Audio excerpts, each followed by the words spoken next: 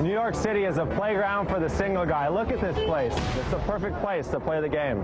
I don't see anything wrong with sleeping with girls that I have no long-term interest in. I'm more selective about whom I have dinner with than whom I have sex with.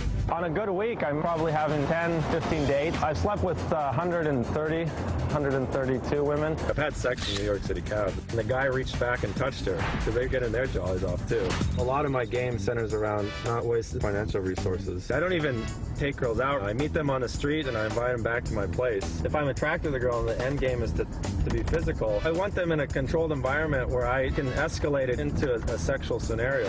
I'm here with the Casanova cam, to see how it works. I'm hoping to capture some street game today. It's nice, kind of like a, a bra here.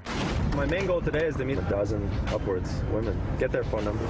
Well, being a good player is you just got to get into the vibe. I'm almost 6'1". I've got like a swimmer's build. I'm happy with my looks and my physique. I'm healthy. I always keep a little bit of scruff. I'm never clean shaven. Women respond a lot to facial hair, I found. They like to touch it and if it's manly. They know that there's a big sexual component to our medium. I need to keep well hydrated. We got a Clif Bar. It's perfect fuel for a running street game. Women say I'm intense. It scares them off or turns them on. My eyes are like beams. Like if I see a girl, she sees that eye connection, she knows it's on. It's like, and then it's, it's just like lock on, like a missile. I love your style. I wanted to come and say hi because it's very unique. The first girl, I made eye contact. I got her number quickly and moved on. Women generally know what my deal is up front. It's about the physicality, and I'm, I'm very touchy-feely right off the bat. So, can I touch your cheekbone? Can we have a drink sometime? You'll bring the accent, I'll bring the cocktails. Sure. I love your hat and your Thank smile. you. Do you live in the city? Chelsea. Chelsea. How about a drink sometime? Yes. Boom. I'm Nice to Paul. meet you. Big hug. The big key there is to, to enter with confidence, keep it light and playful, get the contact information, and then get out of the situation. And I effectively did that. My mojo is pretty good. I, I, I got three or four numbers in about 25 minutes, 30 minutes. Two girls texted me, so we have plans for tonight. Not bad. So it looks like it's on. Okay. All right. So your theory is get in, get the numbers, and get out. It's not a theory, it works. Yeah. So that and that you've got a spreadsheet. I do. Okay. And so how many women are you? 132. Okay. Fewer for other stuff. Do you like women? I do, yeah. This was a quote you gave in an interview that I read. You said, she may look fit, sexy, and sophisticated, but after she's naked with mascara running down her face and she's trying to stuff her thighs into a pair of too small jeans at 2 a.m., you realize she's just another person trying to get by. I wrote that, yes. Yeah.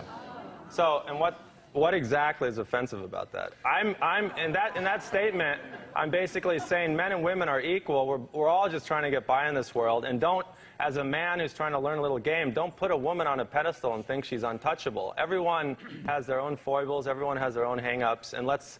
I think a lot of men's uh, insecurity is that they elevate the woman so much that they have fear of approach.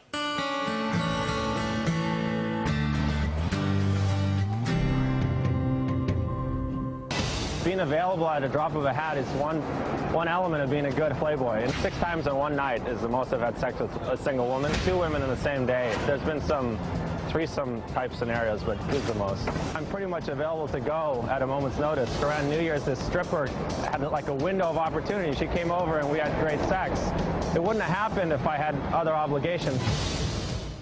Well, today we're attempting to explain the male ego and what happens when it gets what some people would call out of control. Paul wrote a manual, and he says if you follow his simple rules, you will definitely get lucky. Now, he has a definite technique here. Have you been working her during the break? Because I noticed you, you're big on eye contact, leaning in, touching. Right. And I noticed you did all of those things. I think those are effective strategies, yeah. Okay, we decided to put Paul's dating philosophy to the test, so we teamed him up with Nardeep, who says that he's got absolutely no game. He just admits, he says, I got no game when it comes to women. So we put an earpiece in Nardeep's ear so that Paul could give him directions. We then sent him into a crowded New York bar to see if Paul really knows how to get a woman's number without wining and dining her first. Let's take a look at what happened. We're going to go in here tonight. There's going to be groups of girls, twos, threes, drinking. So it's basically about a confident approach, open demeanor, a few witty things. Boom, we'll close it.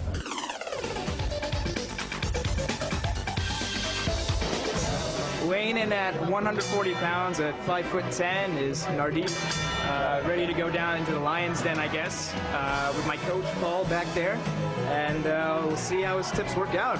Hoping for the best. Women be sort of the uh, good or bad angel on his shoulder tonight. Guys, give him some tips. Can you hear me? Yeah, I can hear you. Kind of like the coach, and he's a player on the field. His biggest liability is lack of experience and uh, confidence. I can take him to water. We'll see if he'll drink. Nardeep, you with me? Yep, I'm ready to go. Slowly make your way towards the other end of the bar. How you guys doing? Hi. Hey, I'm good. How are you? It's your birthday. That means I have to get you a shot. All These right. girls want to party. Let me get five shots of tequila for us. It's a sucker move. These girls seem to be just like using them for drinks. I'm much faster. I'd try and get like four or five numbers from this place and be out of here. When there's a girl by herself texting, I think that's a decent prospect. Pass the blonde, swing left now. You know the bartender to, cut, to lean in a little close, so it looks like you guys are friends or something. Kind of raise your hand like you're hailing a cab, like you want some attention here. Good. Now lean over to the girl and uh, say, "What are you drinking?" What are you drinking over there? Pinot Grigio. Having a little gin and tonic. It's like a summer drink. Gin and tonic's good all year round. Come on. Good work. Nice line. He's taking it on his own. Ask her what her name is. What's your name? My name? Nardeep. Marty? Yep, yours? Hey, I'm This is my friend Lynn. Lynn. Hey, Lynn. Hi, nice to meet you. Nardeep's biggest challenge with these two women, the first one has shown not too much interest. She's pawned him off to the second. Now that he has a logistic problem, I'd say cut and run. He seems to be doing pretty well, but if the conversation's kind of flattened out, the hard thing about the bar scene is like you engage somebody and then you're locked in for 10 or 15 minutes. That's why I do the street game. There's no, you're in and you're out. You're doing well. I like your, I like your body language, your positioning. Come on, now, now leave her. Come around to the friend, the other side. Tap the friend on the shoulder and get the friend's attention. What are you drinking? Absolut Citron and seltzer. Nice drink. Improvising. He's doing well. He's, he can improvise. He's, he's clever on his feet. These women are low energy, so they're not really good. So maybe spend another minute here and then move him on. Tell her that you might be meeting some friends and might have to leave pretty quickly. So can we exchange information? I'd like to take your number. I'm supposed to be meeting some friends later, so I might have to jet out of here. But if you'd like, I'd love to meet up with you later. You want to exchange phone numbers? Oh, sure. To be honest, I'll probably go home after this. Hey, come on, you're saying that now, but you don't know how the night's gonna turn out. Yeah, I like it. Got a it. couple drinks in you. You want to have Don't good push it. Don't push it. Just get the number. Get the number. Just get the Exchange number. numbers, and we'll see where the night takes. Okay. All right. Well done. The trick to getting in New York City is to meet a woman quickly, maintain the intrigue, and get her back to your apartment. It's a controlled environment, and then it's basically escalating the situation until she and I are sexualized and she's somewhat nude, and from there it's biology. From a scale of 1 to 10, I think he's in the 6, 7 range. Come up, Nardeep. You did a good job. We're done here. Hey, good job. You've got four girls dancing around. This one's cute. Nardeep. I'm, he, he, he got his stars today. I'm very proud.